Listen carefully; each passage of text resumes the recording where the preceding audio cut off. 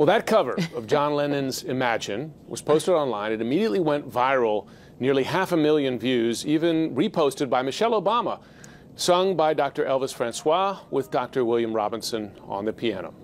Both doctors, residents at Minnesota's famed Mayo Clinic, they join us now. The minute I saw it, I said, we got to book these guys. We need something happy to end what has been just a miserable week for so many. So, guys, thank you for being here and for bringing a little joy into the world. Let's just begin, though, with how you guys are doing, how everyone at the Mayo Clinic is doing right now. Dr. Robinson. Everybody, um, you know, at our institution is actively preparing and getting ready for uh, any patient um, or situation in which um, the virus could come. At this point in time, uh, Elvis and I are both orthopedic surgeons in training, and so uh, we are kind of sitting by our phones and pagers waiting for the call to come in and help however we can. Mm.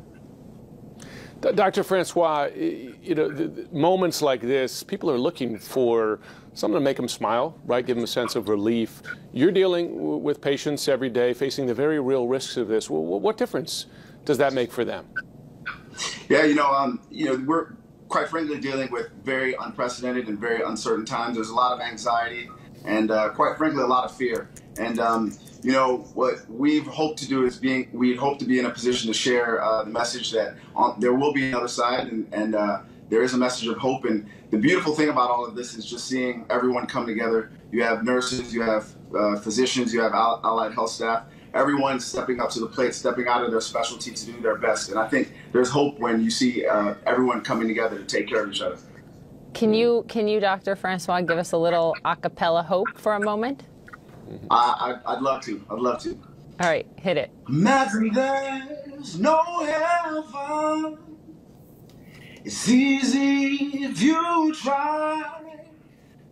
No hell above us only sky. Oh, it's so good, and it's it's those words for you guys, Dr. Francois. Why was that song so important to put out there in this way right now?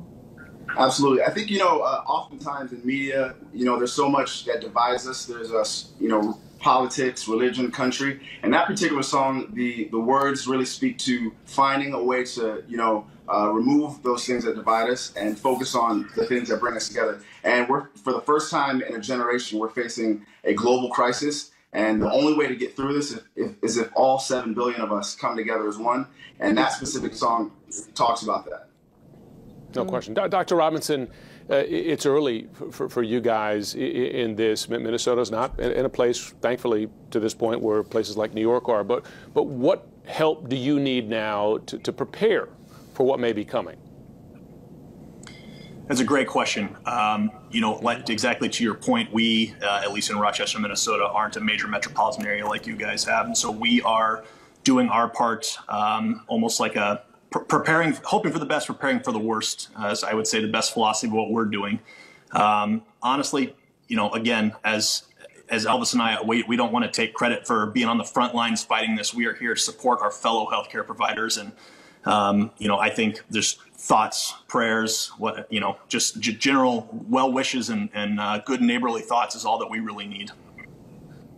Uh, we're sending them, we're sending them your way. We appreciate uh, it. you know, my, bo- both my parents have spent time at Mayo Clinic, and you guys do just incredible work there. So we're wishing the best for all of you at the Mayo Clinic. Thank you. Thanks for brightening our day very much. I think we all needed that. Um, keep playing and keep keep posting. Keep the songs coming. Dr. Elvis so Francois, Dr. William Thank you so much for having us. Of course. Stay safe.